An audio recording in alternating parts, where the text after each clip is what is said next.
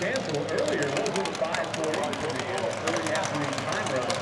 Unlike every other Nitro Jam, this year we allowed uh, all the four cars to make a time run during the afternoon, which was good for some cars and not so good for others. And, case in point, I mean, John Dunn of the Thousand Nitro Running Car, who uh, took his uh, 1970 Duster, blew it well over the scoreboard into about 100 pieces with a huge Lawrence float right at the finish line. And one of the, uh, the good guys went out on the early side. All right, here we go. Stansel. What he's got to do, he's got to tell you now, can he go quicker for a 548? That would put him and Smallwood in the number one and two spots for the championship tonight. Again, you'll see every car here twice.